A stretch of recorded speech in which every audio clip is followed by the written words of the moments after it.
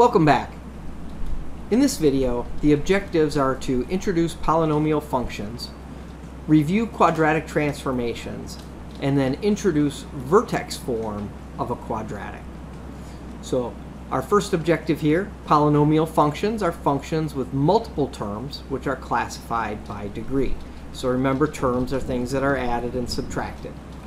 And recall that a degree of a polynomial is the degree of the highest term of the polynomial.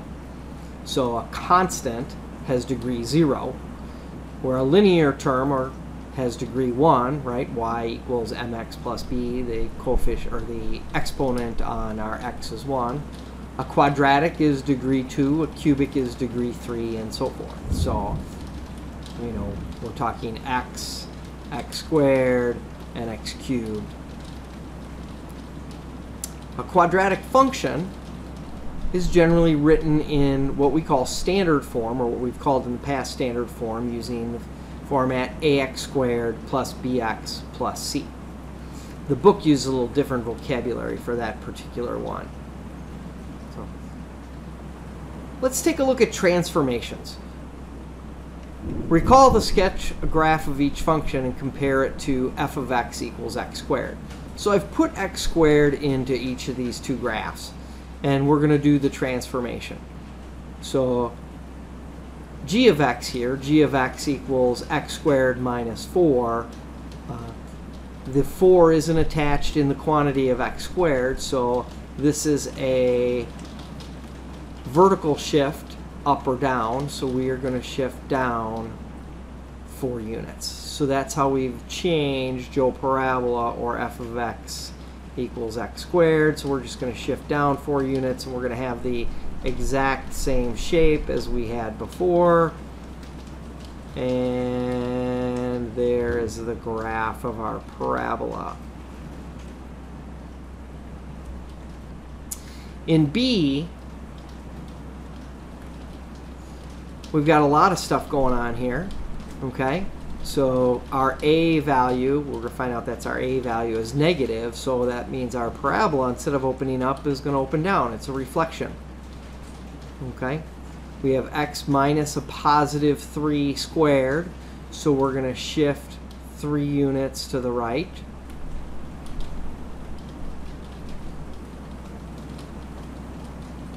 And then plus 1, that's going to be a 1 unit shift upwards. Okay, so I'm going to shift 3 units to the right. I'm going to go up 1, and my parabola then is going to open down, and my parabola is going to look something like that. so I've done my transformation. So there's a review of transformations with a reflection and uh, horizontal and vertical shift. Objective three is to introduce vertex form of a parabola. The, the book calls it standard form, but we're not going to do that. Okay?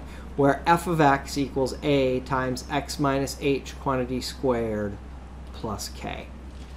So we will call this vertex form because this format gives us our vertex of our parabola right away. Our vertex is located at hk. In fact, this is may recognize this from our transformations of y equals x squared, where we had a vertical shift and a horizontal shift. The vertical shift being the k and the horizontal shift being the h. And then even the reflection would be a. So we've seen this before. Now I've also called this complete the square form. And the reason I call it complete the square form is because the x minus h quantity squared is really a perfect square trinomial. And when we complete the square, we always have a PST or a perfect square trinomial. Let's take a look at a sample problem that involves this vertex form, kind of thing you'll be asked to do. Okay.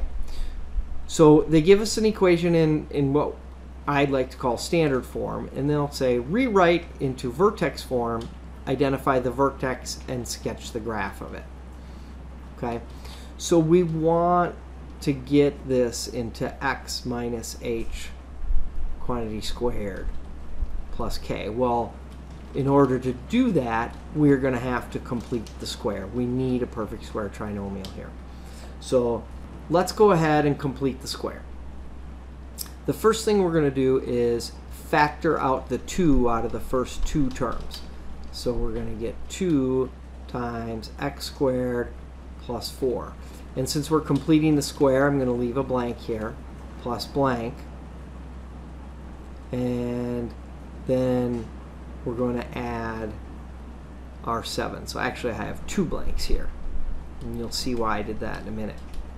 So in order to complete the square, that blank spot, we have to do, take one half of the b term. One half of b, oh, I didn't put the, the x in 4x. So one half of 4, and then we square it. So that really becomes 2 squared. So our perfect square trinomial is sitting here at x squared plus 4x plus essentially 4, or 2 squared. But we have just manufactured this 2 squared, right? We've manufactured 4, and it's being multiplied by 2. So we've created 4 in this, so we have to offset that. In fact, we've created 4, but we've created 2 times 4, which is 8. So we need to subtract 8 as well. So these offset each other. Well, the x squared plus 4x plus 2 squared is our perfect square trinomial. So we have 2 times x plus 2 quantity squared minus 1. Minus 8 plus 7 is our minus 1. So now we have our h and k. That's our vertex, so our vertex form here. Our h is negative 2, our k is negative 1, and that is the vertex of our parabola. So, and then they ask us to sketch the graph. We're just going to take x plus 2 squared, put our vertex at negative 2, negative 1. So our vertex is here and then it's a parabola. Now this one's actually going to be, we've got our a value is 2, so this is going to be a little bit narrower than our standard parabola. So for 1, we're going to go up twice as high. And our parabola is going to be a little bit more narrow and look something like that. So going back, our previous sample problem was already, B was already in vertex form.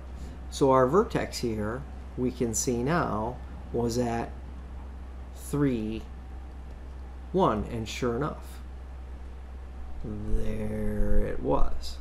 So you've been introduced to vertex form. We've sketched a graph of a parabola and we'll get some more practice on this when I see you in class.